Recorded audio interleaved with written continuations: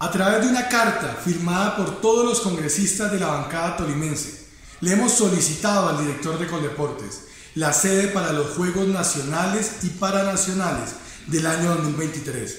Ibagué se lo merece. Ibagué tiene que ser la sede de los Juegos Deportivos Nacionales para que podamos demostrarle a Colombia y al mundo de qué somos capaces en Ibagué. Quedamos ya entonces con dos tareas. Una, poder conseguir los recursos para poder culminar las obras de los escenarios deportivos de Ibagué. Y dos, poder volver a hacer los Juegos Deportivos Nacionales y Paranacionales que quedaron pendientes en el año 2015, porque Ibagué se lo merece.